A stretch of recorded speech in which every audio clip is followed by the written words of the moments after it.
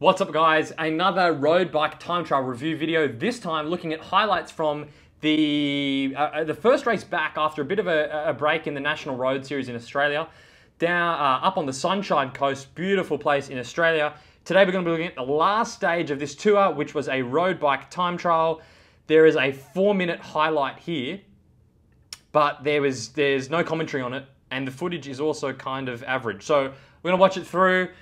Uh, we've got I've got the winner's ride from Brenton Jones up on Strava. I've got to look through some of his power data and just yeah do a bit of a, a bit of a commentary on it. So here we got uh, starting off uh, Jensen Plowright here. Um, did some good sprints. I think he got a couple of podiums in some of the stages. He is currently running for Team Bridgelane, and you can see here he's on the he's got his Lapierre bike. So this is his bike for next year because he is joining the FDJ uh, development team, the Conti team, so he's already gotten his bike for next year. I love the look of these Lapierre bikes that have the, the interesting sort of seat tube uh, chainstay junction. Um, I just really love the look of these Lapierre, so that's pretty cool seeing him, you know, still racing domestically but with his new kit. You'll see this highlights package is, so that, this is Cam Scott here. He did, I think he got sec, uh, third on the, second or third on the stage he, I can't find his ride on Strava, so I won't be able to see him. But yeah, so they literally started inside the uni, then headed out, very technical. So Cam Scott there using the hood's position. Here we got Matt Dinham, quick look, Lazer Bullet, aero lid, uh, aero overshoes, skin suit, pretty standard thing here. So the they're all on road bikes because the time trials in the National Road Series in Australia Usually, if they're under 10 kilometers, they have to be on road bikes. And most races, even if they have a time trial that happens to be over 10 kilometers, the race just says, "No, nah, you got to use road bikes because you know, it's it's hard for for domestic teams to get everyone on a time trial bike. So having it on the road bike makes it fairer. I can't see any specific adjustments to the setup here. It looks pretty standard. Uh, no bottles. So Matt Dinham there, I think he got fourth or fifth on the stage. Very impressive for a smaller rider. Matt's got a, um, a mountain bike background, so he's really good with the technical skills, so his cornering would be great. This is Brenton Jones here. This is the, he won the stage. Very impressive time and a heap of power. He averaged like four, what was it, 460, 470 watts for the time trial, which we'll have a look at. Um, again, standard setup, normal wheels, not even that deep. Like these are just, it looks like a 60 on the rear, 50 on the front. He's on his SL7 skin suit. You know, nothing, nothing too crazy. Um, heading off there. So Cam Scott here did a really fast time. He's going for the hoods position, aero on the hoods, bending the elbows, getting the back down. Works well, very aero. Problem with this, I would say, would be on a technical course like this, is his cornering going to be as good in this hoods position as opposed to being in the drops? I'd say potentially not but definitely very quick in terms of aerodynamics. He might be going, uh, moving from the, the hood's position down to the drops, back into the hoods, back and forth, depending on the technical sections of the course. Matt also going for the hood's position.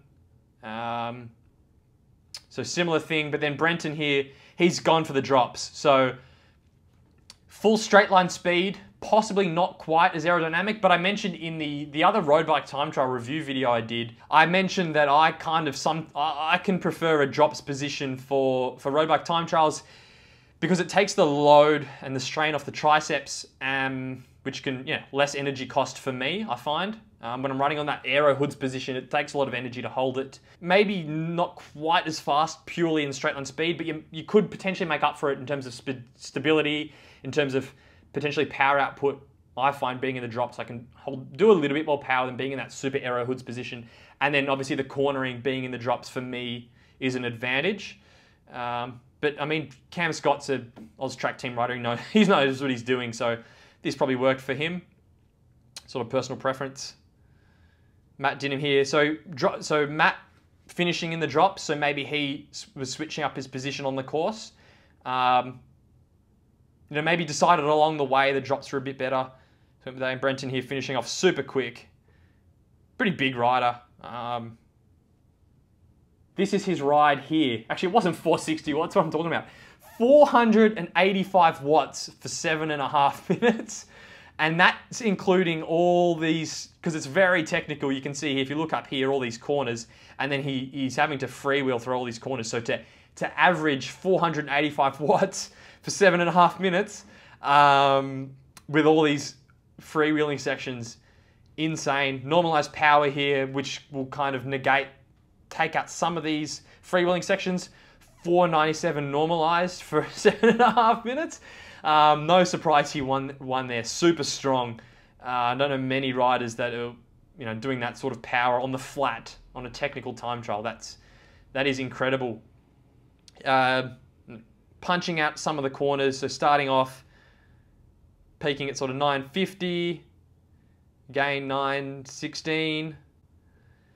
So sort of 900s out of most of the corners, high 900s. Um, that last sprint he did at the end there, kicking up to, to 1200. A couple of takeaways. First thing is his cadence is, it was actually very high. So average for the for the whole time trial was 97. But if we if you actually zoom into some of these sections, he's doing 107. Um, you know, for this 53 second section. Uh, other section over here, 108. So cadence quite high, which you know when you're doing 530 watts. Um, you know, if he's doing that down at 80, 90 RPM, it'd be very difficult. So cadence, you know, he, would have to do some sort of training to be able to hold that cadence up there. But they did interview him at the end here. I was literally rubbing my hands together when I saw the first uh, first recon lap, and I would have loved it to have been one lap. I think that would have even suited me a bit more. I could have laid out more power and averaged, you know, six, seven hundred watts. But uh, I think the the course was fantastic. I love the technicality of the course. Uh, I really got to thank the organisers for using this space to put it on, and I uh, loved it. So Brenton, there, yeah, big anaerobic capacity. Um, he, he mentioned he probably wanted it to be to be one lap. I mean, if it was one lap, it would have been a three, you know, three minutes and 50 second effort. Brenton, if you're not sure of, you know, his history, he's, he's been a pro for a while. So he rode on the, the Drapac Pro Conti team, then rode for, for Delko for two years, been on Canyon DHB for two years. So very experienced rider. Good, like he's got some good results as well. Two stages at Qinghai Lake, which is very high altitude, really tough to get results there. Three sprint stages, Tour of Korea, stage of Tour of Hainan, you know, stages, Tour of Japan, Tour of Taiwan. Um, you know, very impressive sprinter, but obviously he's not just that, doesn't just have that sprint. He's obviously got the power output over a few minute effort. He also seems to upload a lot of his stuff to Strava. So if we go back and have a have a bit of a stalk, like what what sort of training is he doing to to get that result? So assuming he's assuming everything, all the training he's doing is uploading, which he seems like pretty a down to earth guy. I don't know why he'd be hiding stuff. So if we take this um, at face value, seven rides per week, twelve and a half hours. You know, this is for the last four weeks. Seven rides per week, 385k, 12 and a half hours, which is you know not that much training to come out and he actually won that race overall. So very high level of fitness for not much training. Um, so obviously definitely talent there, but also experience. Experience pays for for a lot of things. Um, he knows what sort of training he will need to do to get in shape. Um, he's doing a bit of looks like he's doing some coaching work. So Scotch cycling team, Scotch College is a private school uh, in Melbourne, Victoria. So I think he's doing some, you know, doing some, looks like he's doing some coaching work for there. So I've had a stalk. This is, this is very scary. Shots fired to the, to, to the National Road Series for 2022.